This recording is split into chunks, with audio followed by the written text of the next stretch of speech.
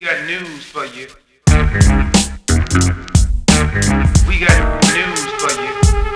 We got, got, got, got, got new, news. Velkommen til Verden på Værs uge 46.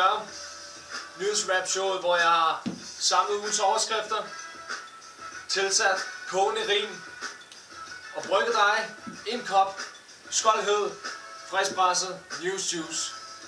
Skål. Og laver skatter krævede i SF Sol zone Gav en glad opposition, nu var Ole i deres zone. Så at regeringen zone zone stadig rød? Måske viste han så hverdag til Venstres landsmøde. Tom Vælge for Kons mistede sit job som formand for sikker trafik Da hans vores vakte opstand. Nu må vi se, hvad formand Barfod vil tænke. For konservativ nu også et borg uden bænke.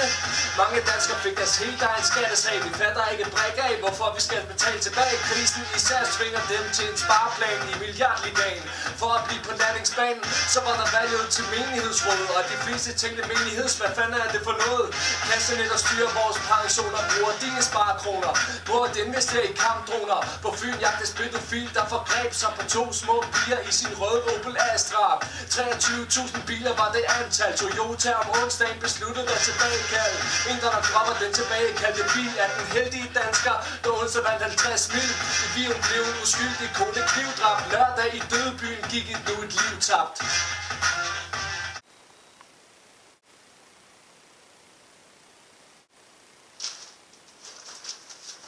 Ni motorsav blev stjålet i Varde. Måske skal en motorsavsmassakre til at starte.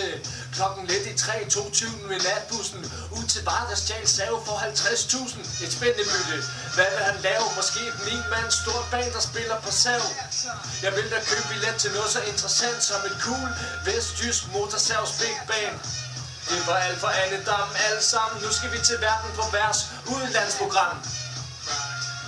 Got news for you. Arafat og Tycho Brahe fik ikke lov at hvile i fred Kisten åbnes for at se om de døde af forgiftet mad Sverige glæder sig over slatten sparkel Og krisen fik presset SAS prisen op på aktiemarkedet i en politisk videoskandal blev tre svære demokrater fyret for racistisk tal. EU anerkender Syrien til position, der stadig kæmper hårdt for at bashe al-Assad og tronen. I Sydeuropa var der kampagner, demonstrantfaner i lange baner imod regeringens spareplaner. EU stiller umastelige sparekrav, råbte demonstranter, da de gik på gaden i rejstrav. EU havde konflikter med kuglerammen. Igen igen er budgetforhandlinger brudt sammen.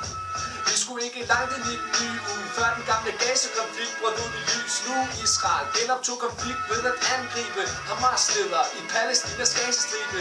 Bumpninger i Gaza og Tel Aviv havde lært at koste landene 41 menneskeliv. Ægyptisk bus var på en highway to hell, kolliderer med 52 blev slået ihjel. Verdens dyreste diamant blev sat i fokus, solgt for 123 mil i et auktionshus. Hvem der var midtpunkt til den forbrugsfest, får vi at se nu, for vi har ugens gæst.